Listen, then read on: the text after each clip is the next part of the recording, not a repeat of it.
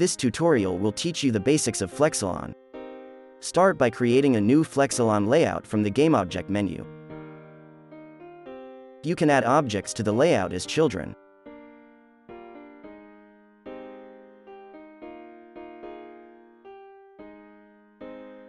You can modify the layout properties to create different arrangements.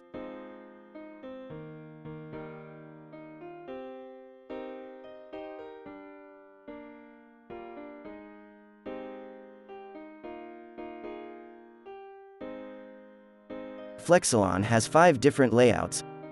Flexible layout, grid layout, circle or spiral layout, curve layout, and random layout. The Flexalon object component controls the size of your layout and its children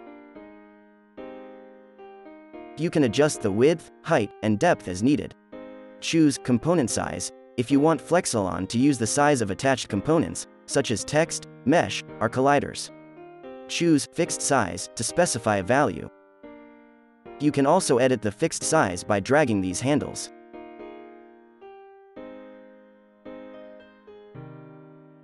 Choose Fill Size to fill in the empty space of the parent layout.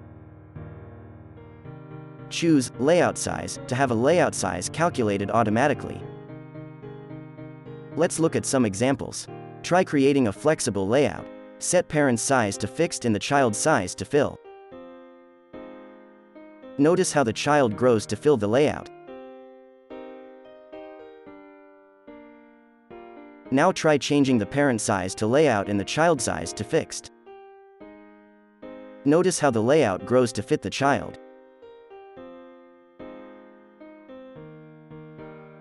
Flexalon constraints can be used to attach one object to another.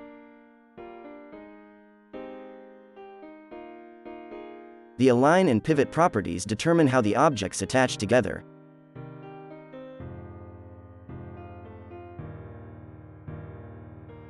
You can also have the two objects match size by using fill size.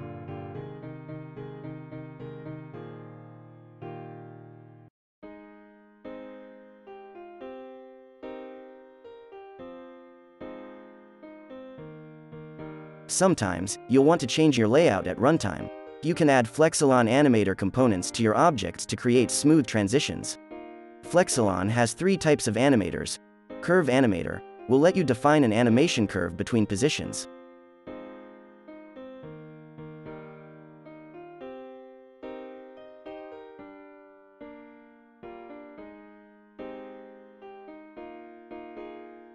Lerp Animator will interpolate between positions.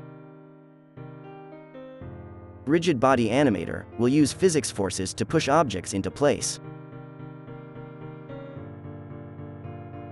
Flexalon also has more advanced features such as cloner and data binding, custom layouts, and custom adapters. Learn about these features and more at flexalon.com/docs. If you have questions or feedback, see the links in the description. Thanks for watching.